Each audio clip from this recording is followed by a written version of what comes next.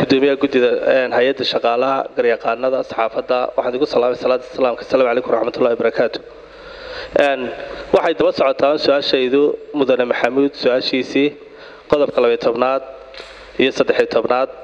Waxa weeyaan xagga dheelitirka shaqaalaha waxaan ogahay oo wakiil ka ahay deegaan deegaanka iyo dadkan wakiilka ka ahay qaranka shaqaalaha dowladda waxay ka yihiin boqolkiiba hal boqolkiiba laba hadday ugu bataan. Maxaa mudane siyaasad kaaga yaalla inay dadka deegaanka awdal een ka soo jeedaa? Hay soo gaadhaan oo ay xaqahay u helaan xaqa waxay u leeyihiin ay helaan. Maxaa siyaasad kaaga yaalla? Su'aashaydu very concise waa intaa weeye. Waxaa sidoo kale hay'adda shaqaaluhu.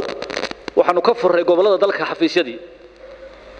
Imtixaanka imika kumeelgaarka laga qaaday ugu dambeeyey lixda gobol ee waaweyn nidaamka biometriga indhaha iyo faraha. Shaqaalaha joogaa ma imanin hargeysa halkii markii hore ay iman jireen hargeysa ee biometriga lagaga qaadi jiray safar u soo geli jireen dhaqaalena ku bixin jireen. Awdal xafiiska awdal baa biometriga lagaga qaaday. Oo xogtoodu waxay ku soo dhacday serfarka iyo xarunta hay'adda shaqaalaha. Sanaag waa sidaasi leeg sool waa sidaasi leeg togdheer waa sidaasi leeg saaxil waa sidaasi leeg.